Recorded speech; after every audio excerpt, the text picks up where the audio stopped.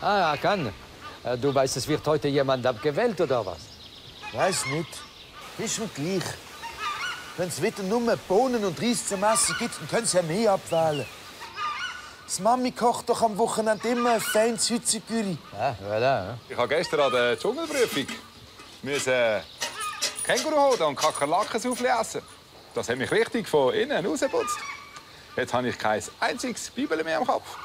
Holz sammeln. Ich bin Olympiasieger.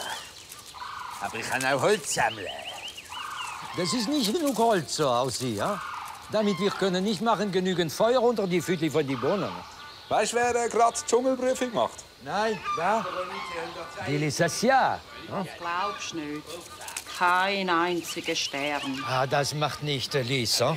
Wir gehen zusammen runter an die Weiher Ja, und ich nein. werde dich abbaden, ja? So, ich begleite dich, so voilà. etwas. Hast du Ball dabei, Muri? Haki, es geht auch mit einer Kokosnuss. Au, au, Kopf, au.